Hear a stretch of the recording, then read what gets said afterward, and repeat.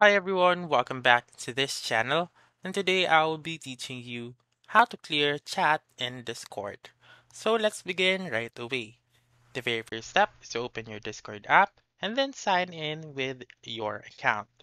And then once you're here, you just simply click on the three lines found on the upper left corner if you are on a server.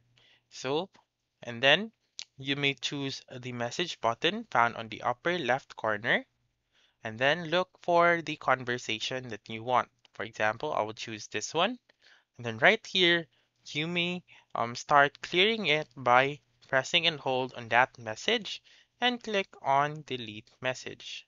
Click on yes. And then if you want to delete all of this, you should um, um, press and hold it individually and click on delete message again and again. So as of today, Discord still doesn't, doesn't have that option in which you can click on a single button to delete all of these messages. So that's it. That's how you can clear chat in Discord. So that's all for this video. Let me know in the comments section if this works out for you. For more helpful tutorials like this, please subscribe to our channel and don't forget to click that notification bell. Thank you for watching and have a wonderful day.